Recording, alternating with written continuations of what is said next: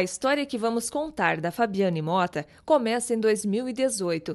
Na época, tinha 35 anos. Fábia é casada, tem um filho. Tudo começa a partir de alguns sintomas e uma consulta. E o resultado que não agradou. Eu fui diagnosticada com o linfoma de Hodgkin em junho de 2018, né?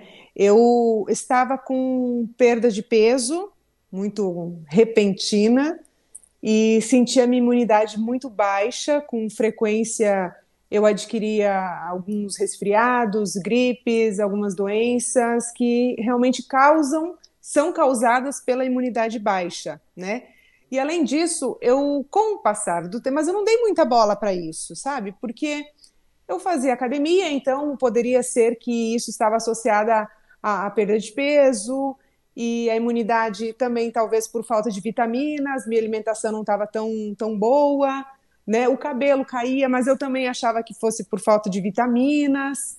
Então eu não dei muita bola para esses sintomas. Fabiane conta ainda que percebeu outro sintoma diferente, o suor noturno, que chamou muito a atenção. Eu suava à noite, né? Todos os dias. Isso me chamava atenção, mas não foi por isso que eu também fui buscar auxílio médico. Eu percebi algumas que eu achavam que eram ínguas no meu pescoço, né? E aquelas ínguas cresceram. Aí fui no médico para ver se realmente faltava alguma coisa, o que, que poderia ser resolvido, talvez até uma, uma torção muscular, alguma coisa. E quando o doutor conversou comigo e foi me questionando sobre outros sintomas que eu estava apresentando, ele falou em nódulos. Então, essa palavra me assustou muito. Então, quando ele falou nódulos, daí acendeu a luz. Como assim nódulos? Eu não, não tenho nódulos, né? E foi assim que eu busquei ajuda. A partir disso, a biópsia foi realizada no dia seguinte para tirar qualquer dúvida, antes mesmo de outros exames de imagem. Aí foi uma sequência em menos de uma semana, o diagnóstico exato do linfoma, ou seja, câncer que se origina no sistema linfático. Quando eu recebi o diagnóstico, né, a casa caiu, o chão se abriu, não aceitava, não entendia porque comigo a primeira reação é essa, de você não querer aquilo para você, de você não aceitar que você está com uma doença tão grave ainda mais que eu não tinha casos na família, né, desse tipo de, de doença, então não, não, não queria aceitar. E depois, com o passar do tempo, sim, a gente vai entendendo que se Deus nos deu essa condição é porque nós temos que vencer. E por que não comigo? Depois a pergunta se inverte, né? O tratamento foi realizado em Curitiba por aproximadamente sete meses. O tratamento foi realizado através de quimioterapia e radioterapia eu fiz oito sessões de quimioterapia e 30 sessões de radioterapia. Né? A cada 15 dias eu me submetia então a uma sessão de quimioterapia em Curitiba. Também optei por fazer o tratamento lá em Curitiba com um médico especialista nesse tipo de câncer, né? no linfoma. Durante o tratamento, a rotina cheia de desafios e cuidados. Fabiane perdeu apenas 30% do cabelo. No meu tratamento, eu não tive queda de cabelo porque eu utilizei uma técnica né, que é a touca térmica. Essa touca térmica eu utilizava enquanto a medicação era injetada no, no, meu corpo, né? Então essa touca ela fez com que eu não tivesse essa queda, já que ela congela o bulbo capilar, a raiz do cabelo, e faz com que a medicação não chegue com tanta força na região da cabeça.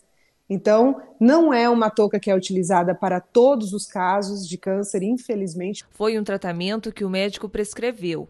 Emagreceu aproximadamente 10 quilos. Teve reações à medicação, enjoos, náuseas, muita dor no corpo. Mas tudo isso se tornou mais leve, com o apoio dos amigos e principalmente da família. Graças a Deus, a minha família foi o meu suporte. O meu marido também me levava, me buscava, me trazia, fazia né, de tudo para que eu me sentisse sempre muito bem.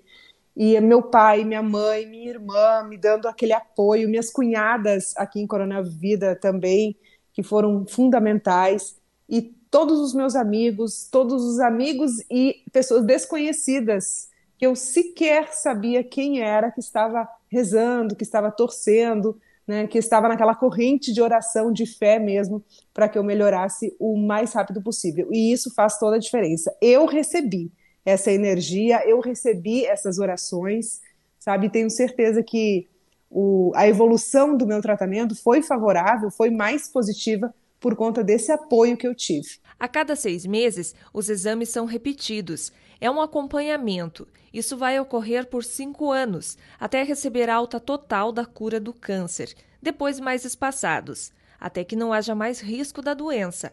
A Fabiane é a prova que o diagnóstico precoce ajuda e o apoio é fundamental. É possível vencer é possível manter o otimismo, é possível manter as suas atividades, né, dentro das suas limitações, é possível que você mantenha as suas atividades, até mesmo para você ocupar a cabeça e esquecer por algum, alguns minutos, algumas horas que você está passando por um tratamento, porque senão você se consome daquilo, né, e, e acaba absorvendo demais a doença.